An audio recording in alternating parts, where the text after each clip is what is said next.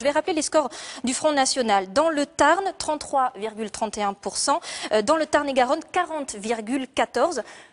Ce qu'on peut dire en tout cas ce soir, c'est que le Front National a au moins réussi une chose. Aujourd'hui, les électeurs euh, n'hésitent plus à voter Front National, non plus peur, comme ça avait pu être le cas en 2002, on s'en souvient. Certes, c'était pour le président de la République, mais tout de même.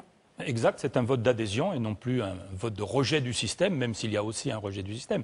Enfin, je le disais dimanche dernier à cette même place, au premier tour avec notre score, à la proportionnelle, nous aurions eu 85 députés. Nous en aurons deux. Je dénonce avec M. Piquet et avec Mme Barège un mode de scrutin qui ne pourra pas durer, qui est soviétoïde, qui est digne d'une république bananière.